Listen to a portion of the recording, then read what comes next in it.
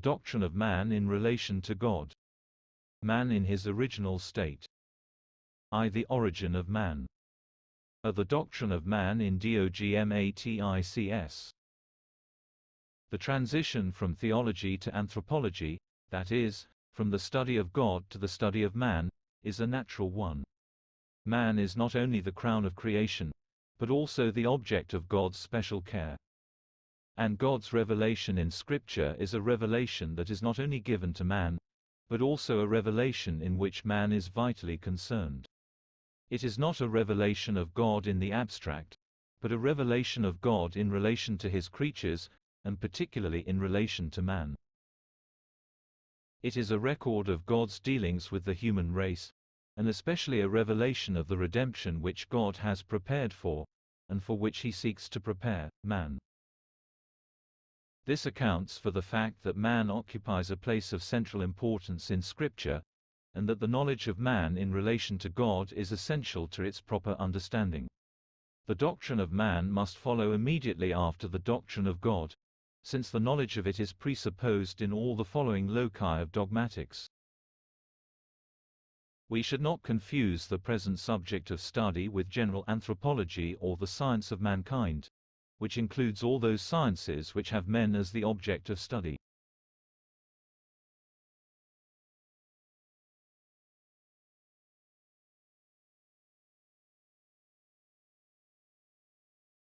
These sciences concern themselves with the origin and history of mankind, with the physiological structure and the psychical characteristics of man in general and of the various races of mankind in particular, with their ethnological, linguistic, cultural and religious development, and so on. Theological anthropology is concerned only with what the Bible says respecting man and the relation in which he stands and should stand to God. It recognizes Scripture only as its source, and reads the teachings of human experience in the light of God's Word. B. Scriptural account of origin of man. Scripture offers us a twofold account of the creation of man, the one in general. 126, 27, and the other in general. 2 to 7, 21 to 23. Higher criticism is of the opinion that the writer of Genesis pieced together two creation narratives, the first found in general 1 to 1, 2 to 3, and the second in general 2 to 4-25, and that these two are independent and contradictory. Laidlaw in his work on the Bible Doctrine of Man, pp. 25f, is willing to admit that the author of Genesis made use of two sources, but refuses to find here two different accounts of creation.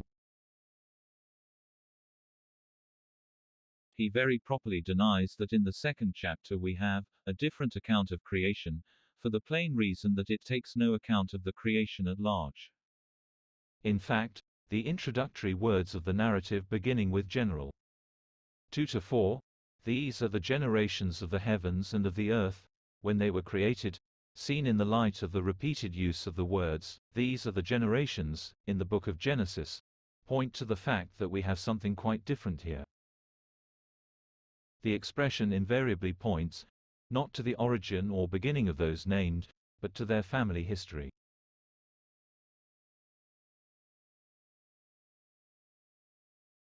The first narrative contains the account of the creation of all things in the order in which it occurred, while the second groups things in their relation to man, without implying anything respecting the chronological order of man's appearance in the creative work of God, and clearly indicates that everything preceding it served to prepare a fit habitation for man as the king of creation.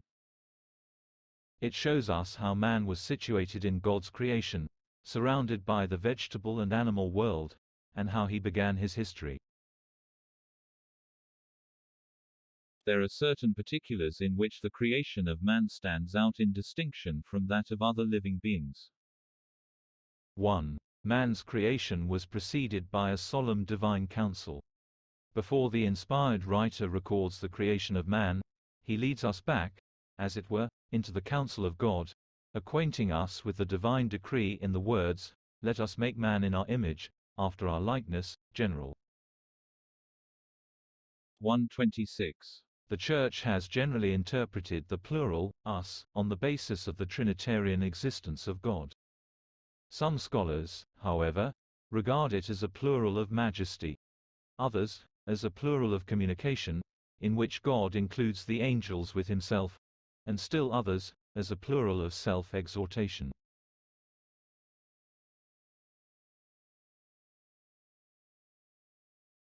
Of these three suggestions the first is very unlikely, since the plural of majesty originated at a much later date, the second is impossible, because it would imply that the angels were co-creators with God, and that man is also created in the image of the angels, which is an unscriptural idea, and the third is an entirely gratuitous assumption, for which no reason can be assigned.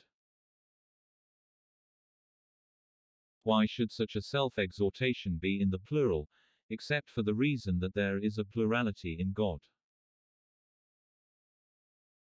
2. The creation of man was in the strictest sense of the word an immediate act of God. Some of the expressions used in the narrative preceding that of the creation of man indicate mediate creation in some sense of the word.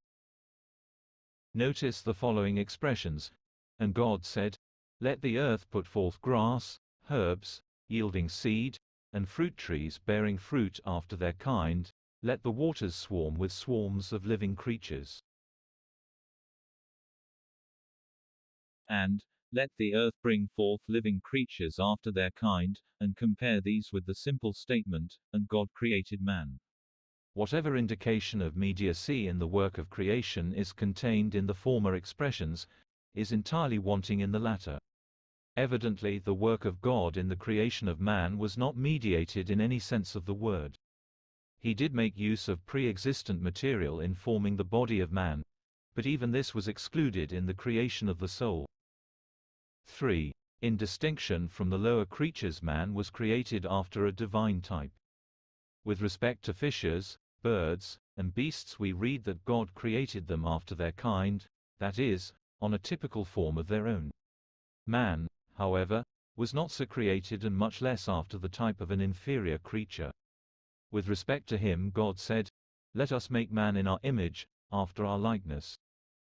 We shall see what this implies, when we discuss the original condition of man, and merely call attention to it here, in order to bring out the fact that in the narrative of creation the creation of man stands out as something distinctive. 4. The two different elements of human nature are clearly distinguished. In general, 2 to 7 a clear distinction is made between the origin of the body and that of the soul. The body was formed out of the dust of the ground. In the production of it God made use of pre-existing material. In the creation of the soul, however, there was no fashioning of pre-existing materials, but the production of a new substance. The soul of man was a new production of God in the strict sense of the word. Jehovah breathed into his, man's, nostrils the breath of life, and man became a living soul. In these simple words the twofold nature of man is clearly asserted, and their teaching is corroborated by other passages of Scripture, such as Eccle 12-7, Matt 10:28, Luke chapter 8 verse 55, 2 Cor 5 to 1 minus 8. Phil. 122 minus 24. Heb. 12 to 9. The two elements are the body and the breath or spirit of life breathed into it by God, and by the combination of the two man became a living soul, which means in this connection simply a living being. 5. Man is at once placed in an exalted position. Man is represented as standing at the apex of all the created orders. He is crowned as king of the lower creation, and is given dominion over all the inferior creatures. As such it was his duty and privilege to make all nature and all the created beings that were placed under his rule, subservient to his will and purpose, in order that he and his whole glorious dominion might magnify the Almighty Creator and Lord of the universe. General 128. Ps. 8 to 4 minus 9. See the evolutionary theory of the origin of man. Among the various theories that have been broached to explain the origin of man, the theory of evolution at present holds the field, and therefore deserves brief consideration. 1. Statement of the theory. The theory of evolution is not always stated in the same form. It is sometimes represented as if man is a direct descendant of one of the species of anthropoid apes now in existence, and then again, as if man and the higher apes have a common ancestry. But whatever difference of opinion there may be on this point, it is certain that, according to thoroughgoing naturalistic evolution, man descended from the lower animals, body and soul, by a perfectly natural process, controlled entirely by inherent forces. One of the leading principles of the theory is that of strict continuity between the animal world and man. It cannot allow for discontinuity anywhere along the line, for every break is fatal to the theory. Nothing that is absolutely new and unpredictable can appear in the process. What is now found in man must have been potentially present in the original germ out of which all things developed. And the whole process must be controlled from start to finish by inherent forces. Theistic evolution, which seems more acceptable to many theologians, simply regards evolution as God's method of working. It is sometimes represented in a form in which God is merely called in to bridge the gaps between the inorganic and the organic, and between the irrational and the rational, creation. But to the extent to which a special operation of God is assumed, gaps are admitted which evolution cannot bridge, and something new is called into being, the theory naturally ceases to be a pure theory of evolution. It is sometimes held that only the body of man is derived by a process of evolution from the lower animals, and that God endowed this body with a rational soul. This view meets with considerable favor in Roman Catholic circles. 2. Objections to the theory. Several objections can be raised against the theory of the evolutionary descent of man from the lower animals. A. From the point of view of the theologian, the greatest objection to this theory is, of course, that it is contrary to the explicit teachings of the Word of God. The Bible could hardly teach more clearly than it does that man is the product of a direct and special creative act of God, rather than of a process of development out of the simian stock of animals. It asserts that God formed man out of the dust of the ground, general. 2. 7. Some theologians, in their eagerness to harmonize the teachings of Scripture with the theory of evolution, suggest that this may be interpreted to mean that God formed the body of man out of the body of the animals, which is after all but dust. But this is entirely unwarranted, since no reason can be assigned why the general expression, of the dust of the ground, should be used after the writer had already described the creation of the animals and might therefore have made the statement far more specific. Moreover, this interpretation is also excluded by the statement in general. 3:19 In the sweat of thy face shalt thou eat bread till thou return unto the ground for out of it wast thou taken for dust thou art and unto dust shalt thou return.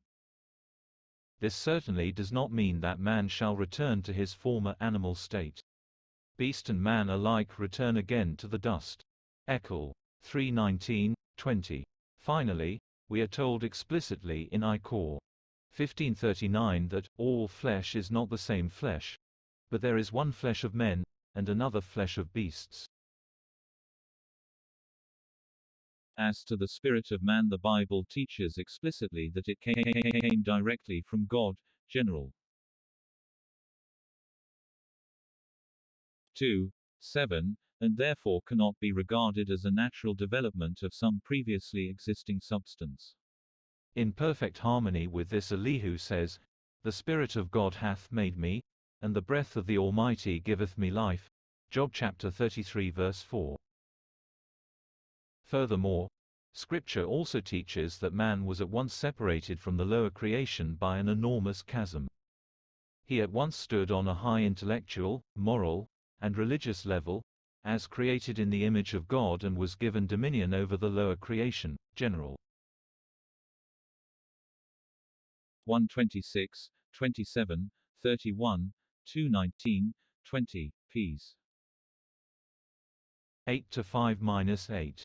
By his fall in sin, however, he fell from his high estate and became subject to a process of degeneration which sometimes results in bestiality. This is quite the opposite of what the evolutionary hypothesis teaches us.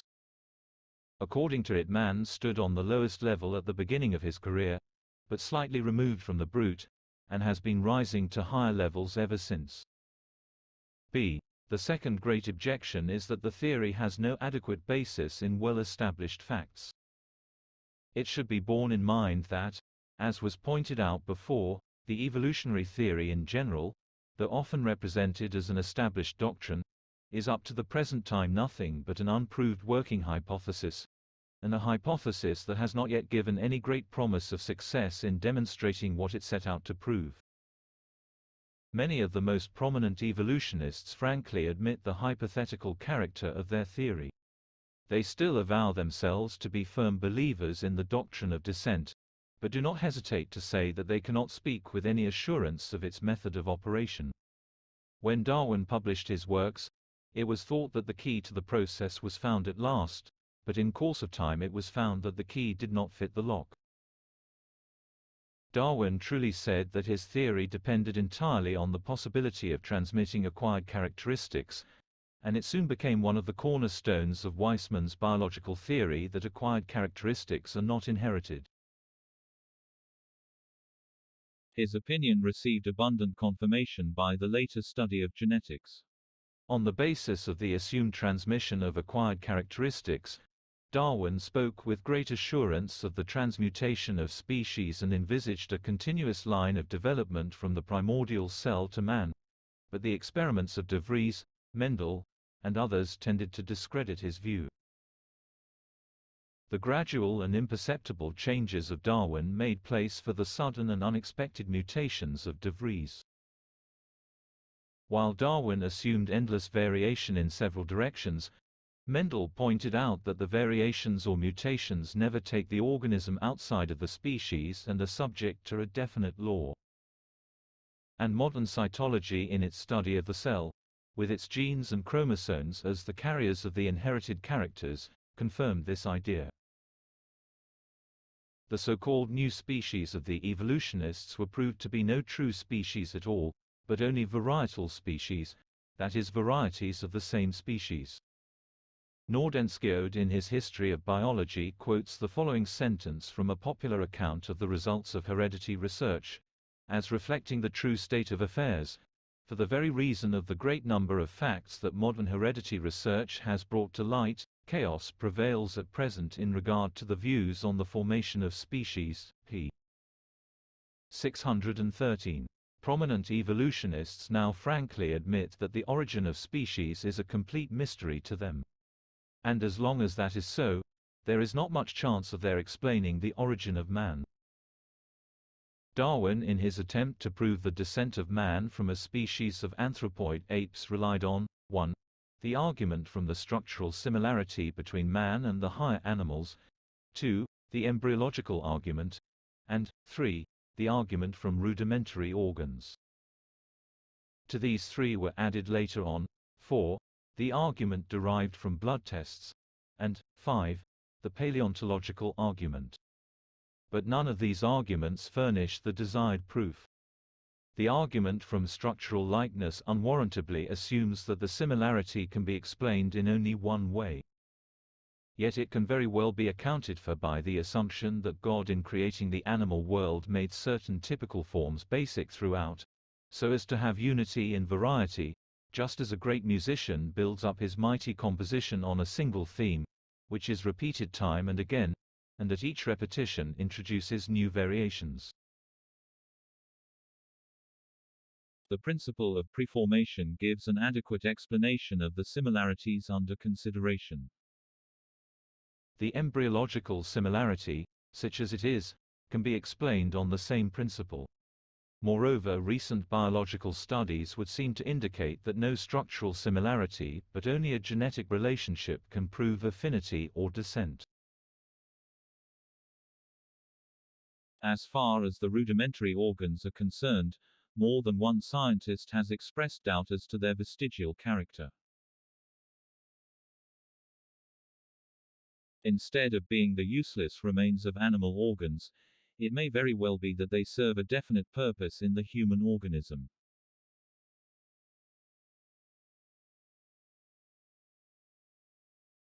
The blood tests in their original form, while pointing to a certain likeness between the blood of animals and man, do not prove genetic relationship, since in these tests only part of the blood, the sterile serum which contains no living matter, was used, while it is an established fact that the solid portion of the blood, containing the red and white cells, is the carrier of hereditary factors.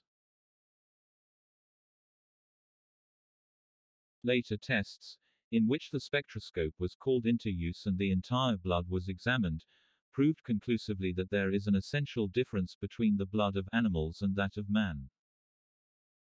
The paleontological argument is equally inconclusive.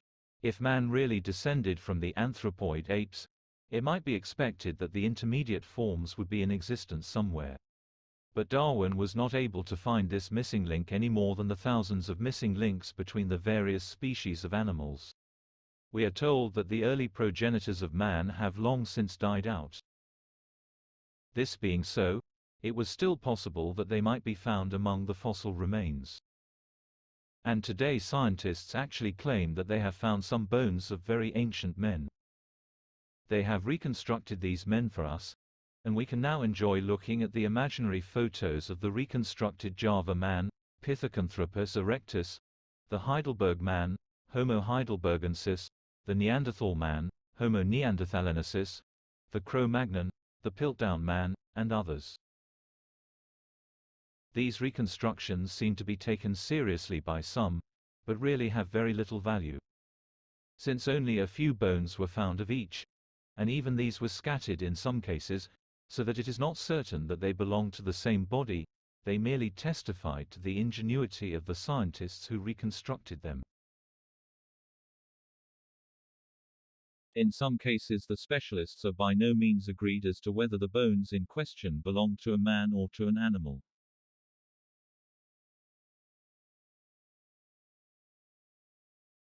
Dr. Wood, professor of anatomy in the University of London, says in a booklet on the ancestry of man, I find no occupation less worthy of the science of anthropology than the not unfashionable business of modeling, painting, or drawing these nightmare pictures of the imagination, and lending them in the process, an utterly false value of apparent reality. Quoted by Allen, Evolution in the Balances, p. 110. Fleming, one of the most prominent present-day scientists, says, the upshot of it all is that we cannot arrange all the known fossil remains of supposed man in a lineal series gradually advancing in type or form from that of any anthropoid ape, or other mammal, up to the modern and now existing types of true man. Any supposition or statement that it can be done, and is true, is certainly incorrect.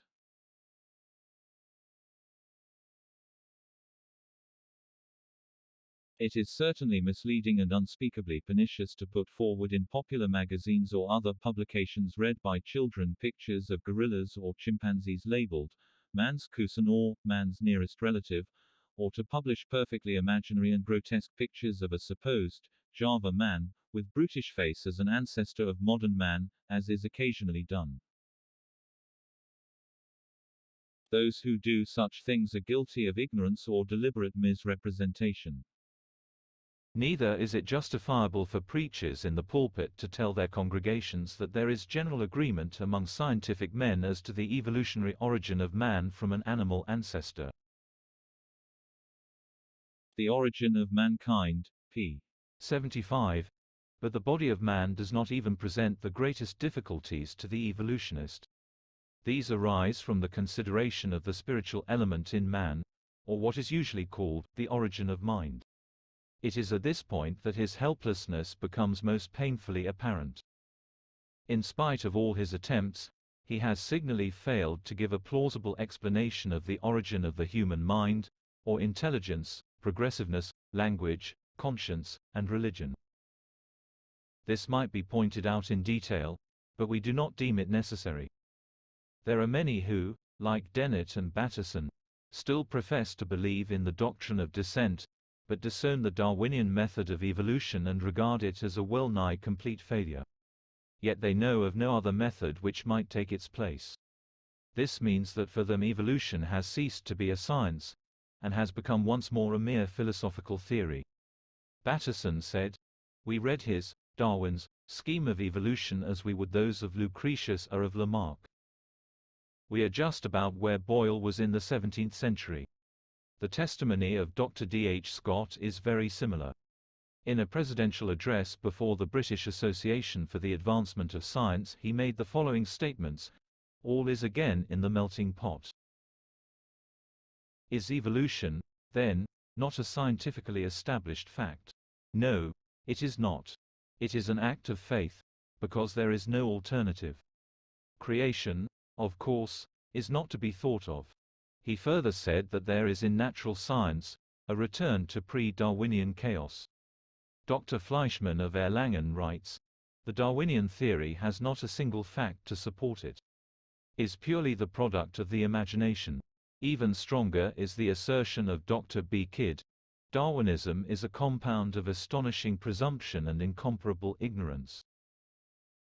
Quotations taken from Zerbe, Christianity and False Evolution, pp. 271f. Such scientists as Fleming, Dawson, Kelly, and Price do not hesitate to reject the theory of evolution and to accept the doctrine of creation. Respecting the origin of man, Sir William Dawson says, First know nothing about the origin of man, except what I am told in the scripture, that God created him. I do not know anything more than that, and I do not know of anyone who does. Quoted by W. Bell Dawson, The Bible Confirmed by Science, p. 146. Cf. Also what the later Dawson says in Chap. 8. Fleming says, all that science can say at present in the light of definitely ascertained and limited human knowledge is that it does not know, and has no certain proof how, where, and when man was originated. If any true knowledge of it is to come to us, it must come from some source other than present modern anthropology. The Origin of Mankind, p. 76. D. The Origin of Man and the Unity of the ROCE. 1. Scripture testimony to the unity of the race. Scripture teaches that the whole human race descended from a single pair. This is the obvious sense of the opening chapters of Genesis. God created Adam and Eve as the beginning of the human species, and commanded them to be fruitful and multiply, and replenish the earth.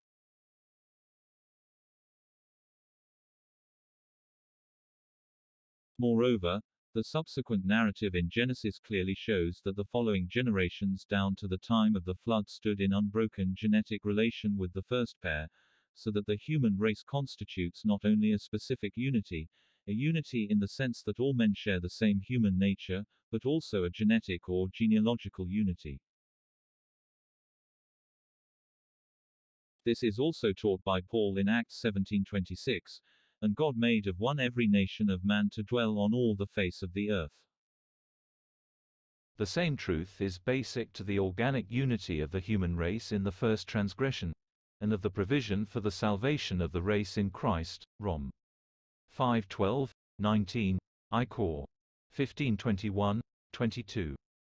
This unity of the race is not to be understood realistically, as it is represented by Shedd, who says, Human nature is a specific or general substance created in and with the first individuals of a human species, which is not yet individualized, but which by ordinary generation is subdivided into parts, and those parts are formed into distinct and separate individuals of the species. The one specific substance, by propagation, is metamorphosed into millions of individual substances, or persons. An individual is a fractional part of human nature separated from the common mass, and constituted a particular person, having all the essential properties of human nature. Dom. Theol. 2, p. 72. The objections to this view will be stated in another connection. 2. The testimony of science to the unity of the race. Science in various ways confirms the testimony of Scripture as to the unity of the human race. Scientific men have not always believed in this. The ancient Greeks had their theory of autochtonism, to the effect that men sprang from the earth by a sort of spontaneous generation, a theory that has no solid foundation whatever, since spontaneous generation has never been proved but rather discredited. Agassiz propounded the theory of the Co-Adamites, which assumes that there were different centers of creation. As early as 1655 Peyrerius developed the theory of the Pre-Adamites, which proceeds on the assumption that there were men before Adam was created. This theory was revived by Winchell, who did not deny the unity of the race, but regarded Adam as the first ancestor of the Jews rather than as the head of the human race. And in recent years Fleming, without being dogmatic in the matter, says that there are reasons to assume that there were inferior races of man preceding the appearance of Adam on the scene about 5500 BC. While inferior to the Adamites, they already had powers distinct from those of the animals. The later Adamic man was endowed with greater and nobler powers and probably destined to bring the whole of the other existing humanity into allegiance to the Creator. He failed to preserve his own allegiance to God, and therefore God provided for the coming of a descendant who was human and yet far more than man, in order that he might accomplish what the Adamic man failed to do.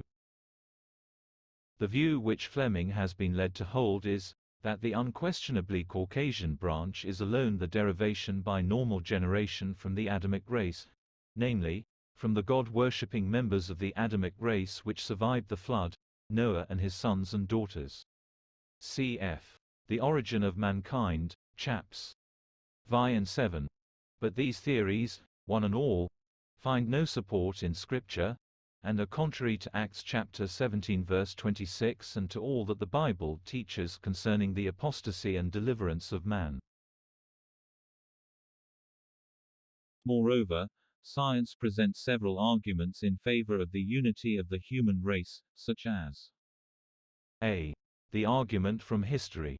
The traditions of the race of men point decisively to a common origin and ancestry in Central Asia. The history of the migrations of man tends to show that there has been a distribution from a single center. b. The argument from philology. The study of the languages of mankind indicates a common origin. The Indo-Germanic languages are traced to a common primitive tongue, an old remnant of which still exists in the Sanskrit language. Moreover, there is evidence which goes to show that the Old Egyptian is the connecting link between the Indo-European and the Semitic tongue. C. The argument from psychology.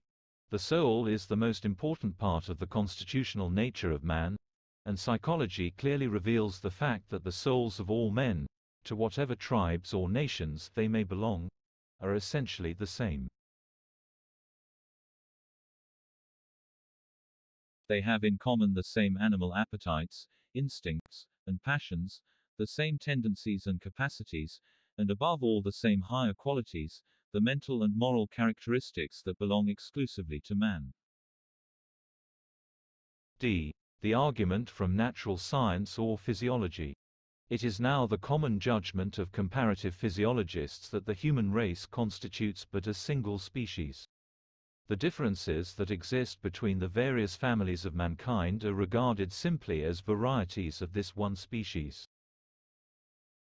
Science does not positively assert that the human race descended from a single pair, but nevertheless demonstrates that this may have been the case and probably is. Questions for further study. What can be said against the view that we have in general? 1 and 2 Two different and more or less contradictory accounts of creation.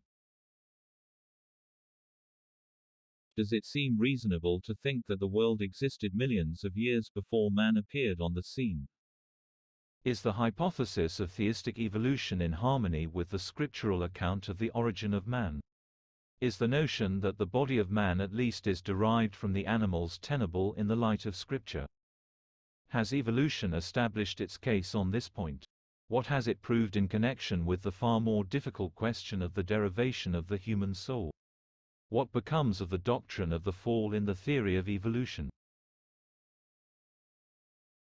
What is the theological significance of the doctrine of the unity of the human race?